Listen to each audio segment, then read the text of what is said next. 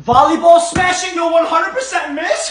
Listen, he didn't say 80%, he didn't say 90%, he said 100, man. So I gotta give this a try. In gym class, I used to be one of those guys who just like a whoopah! You know, with the two-hander? So that's what we're gonna hit, man. I think it's too easy from here. I think we can all agree. It's physically impossible to do it from the side of the basket, man. So listen, guys. I know it took me a while, but it's about time we get our cue. He said 100%, so I'm just gonna about to whoopah!